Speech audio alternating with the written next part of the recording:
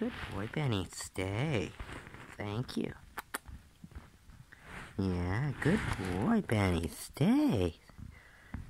So, Benny is going to be enjoying a snack on a chicken carcass here. Uh, actually, I think this is a split car chicken carcass. Benny, stay. Um, I'll try to get a good picture here. Um, sorry, guys. Uh, yeah, so... I'm not sure. I think this, to me, this looks like a split carcass, but I might be wrong. It might just be crushed. Uh, it's hard to say when it's in the shape it's in. Um, but actually, it may just be crushed. Um, it looks to be largely intact, so I think it's probably a whole carcass, actually. So yeah, this is a chicken carcass, and I think it's about uh, three pounds, maybe four pounds. Uh, it could be as low, theoretically, depending on the bird, as two. But I think the dressed weight on this is about three. Um, anyway, so Benny's going to be enjoying this chicken carcass uh, by Ryan's Raw. Um, and uh, yeah, it's frozen. It's his favorite way to eat it. Good boy, Ben. And he'll he, he sort of has a thing about how he eats. He likes to uh, basically lick it for all the way over first, and then once he's tasted everything, uh, he decides where exactly he's going to start and how he's going to do it, and he chews it up. Um, so right now he's in his pre-eating, uh, cleaning, tasting stage.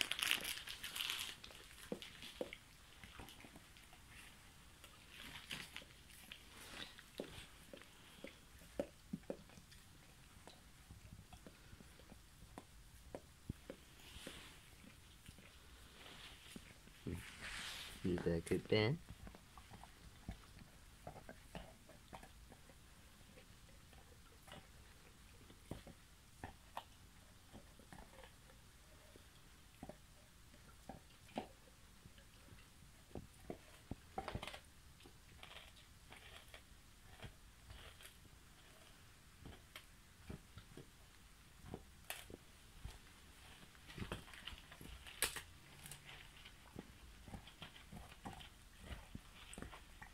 really hard to say whether that's split or whole. I'll find out and I'll add it uh, in the uh, um, added de extra details, additional details, whatever they call that section under the video. Um, uh, offhand, I think it. I thought they said it was split, but um, I don't. I'm not sure it's split. Um, I'm I feel like I'm. I'll, I'll have to check. I'm not 100%. I feel like it's not got enough on it to be a whole. Um,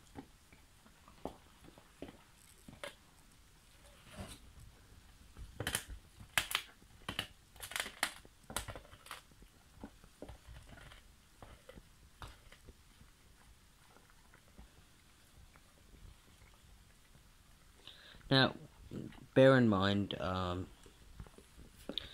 uh, that depending on whether this is a whole um, uh, carcass or split carcass will vary how much um, is needed to be consumed uh, for a regular diet um, for your average animal.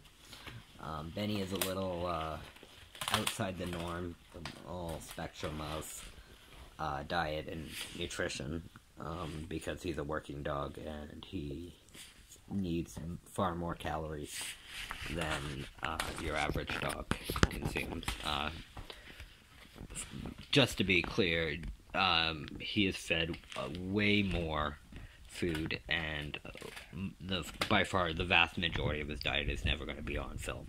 Um, these are just isolated clips of his diet. Um, trying to showcase different aspects and features of the different things that he's eating. Um, for Benny, in a typical day, he's going to go through at least. Oh, give me a second. Um, he'd need at least four of those.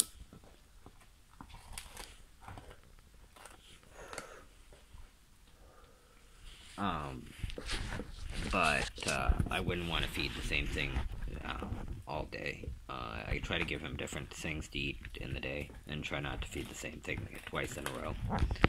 Um, generally speaking, I prefer to feed smaller meals um, more frequently. Um, so I tend to feed twice a day at this point because he's about three now. Um, earlier on, I was feeding uh, three, even four, six times a day. Um, when he was a little puppy, like uh, four months, five months old, six months old, kind of thing, then I was feeding him six like times a day.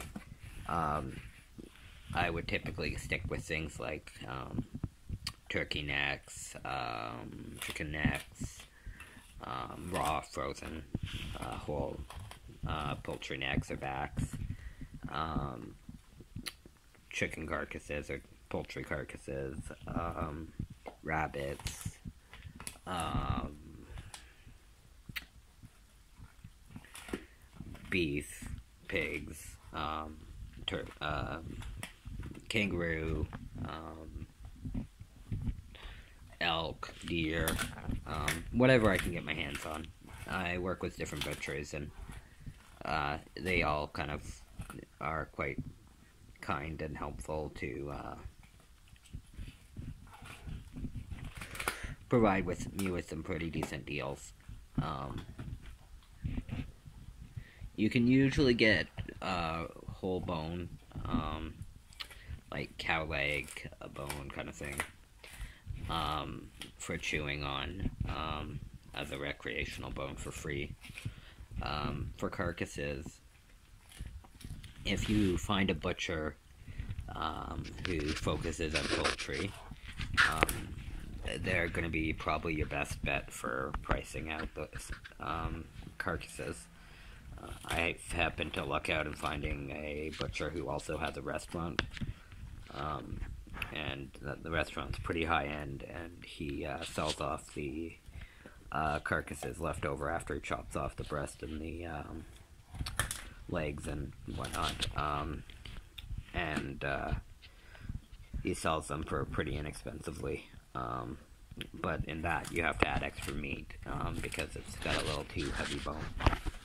So it's uh, it's always a balancing act, and you know, I try to replicate the uh, natural ratio of bone to meat to organ um, to fur to whatever um, from what would naturally be a, a herbivore prey animal. Um, roughly, I, I try to average about the size of the dog's head um, two to three times a day for your average dog. Um, for a dog like Benny, um, he could easily go over six, seven, eight of these um, if they're split. Um, and uh, if they're whole, um, he could easily go through four of these in a day. So, yeah. again, he's an athlete. He eats a lot. Um, obviously, he's not overweight, um, and he's not um, underweight either. So that's obviously the most important thing. He's still growing in a steady, uh, consistent, stable fashion um, without any abnormalities. Um, so I. I'm pretty confident that at this point he's eating the right amount. Um, but most dogs won't need nearly as much as he eats. One of the nice things about freezing the food is it really requires the dog to chew a lot more than they would. Uh, I find that defrosted food causes a lot of dogs to eat a lot faster.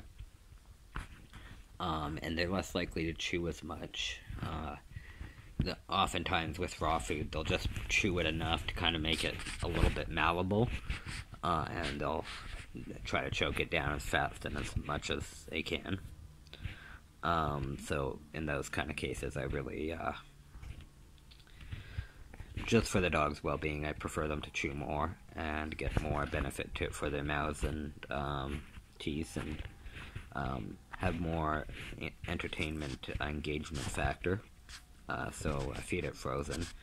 but as you can see, even frozen, it doesn't last forever. Um, probably equivalent to say like three to four uh, reasonably spaced cookies, um, maybe five or six, seven cookies. Um, if fed unreasonably and just like feeding as fast as the dog will inhale them. Uh, so I mean, it, it just kind of depends um, on the dog. He's a extraordinarily powerful animal who has been feeding and eating raw all his life. From when he was just a little baby, uh, and he was coming off his mom's milk, and he was starting to learn uh, to eat uh, raw food uh, that was given to him.